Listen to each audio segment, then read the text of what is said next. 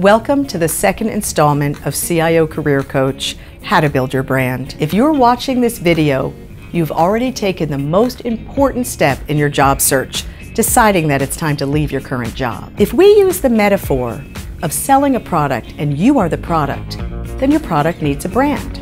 Step one, defining your brand.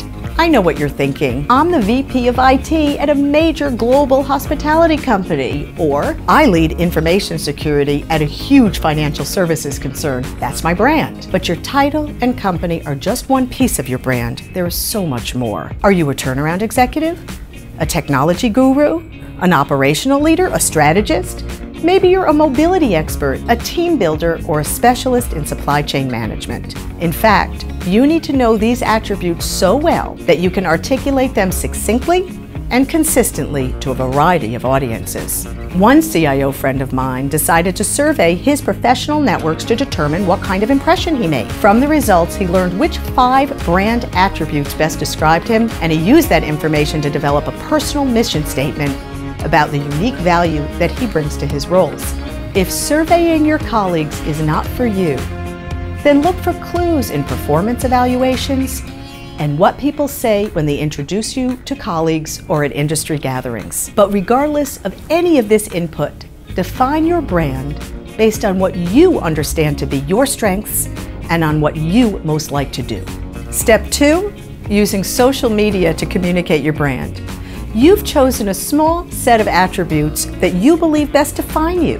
Now it's time to tell the world, or at least your professional networks. Start by looking hard at your LinkedIn profile. Is it sparse? Is it outdated? Does it include one paltry, half-hearted recommendation from a peer? LinkedIn is often the first place a recruiter will turn to learn about you. Before you start your search, make sure your profile is up to date sufficiently detailed, includes recommendations from past bosses, and makes solid references to your brand attributes. If you're concerned about tipping off your current employer that you're seeking another job, then don't put career opportunities as something you want to be contacted about. Remember, LinkedIn is a tool for establishing relationships with vendors, potential business partners, and for interacting with other professionals in your industry. Participating in LinkedIn does not signify that you're on the market. It simply demonstrates that you are an active member of your professional community.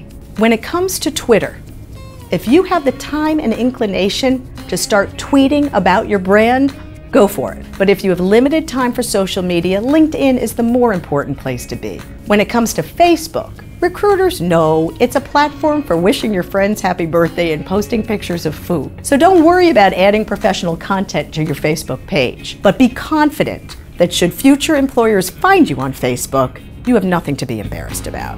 Step three, establish a platform. You'll be a more marketable candidate if you are known in your industry and among your peers for your ideas and expertise. Writing for IT or industry publications, participating in relevant online communities, and speaking at conferences are all effective ways to get noticed. If writing is your thing, you're in luck. Online publications are often hungry for bloggers, especially those with an innovative idea, a unique point of view, or advice about a timely topic.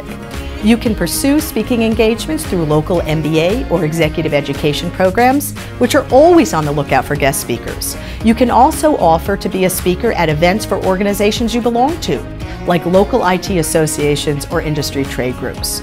But regardless of the platform, make sure your content aligns to those brand attributes you worked so hard to define. So there you have it. You are a product headed to market, and now you have a brand. Next up, developing your marketing collateral. That is, writing a great resume.